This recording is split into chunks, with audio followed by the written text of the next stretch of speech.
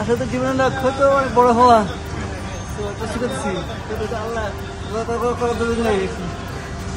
আমি একজন প্রফেশনাল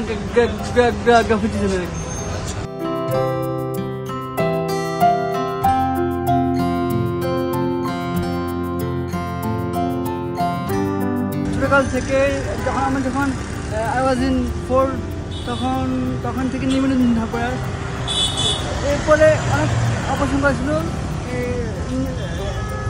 আগে করেছিল বাম পা তারপর ডান এরপর বাট এরকম করার ফল হয়নি।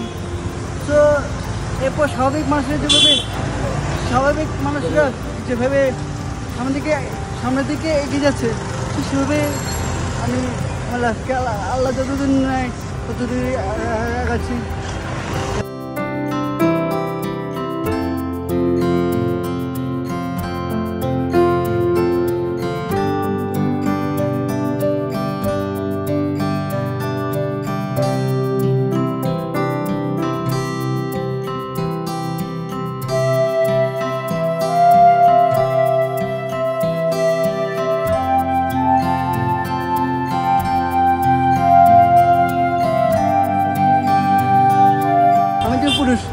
তো আমার পর আমার ফ্যামিলি ফ্যামিলি ফ্যামিলির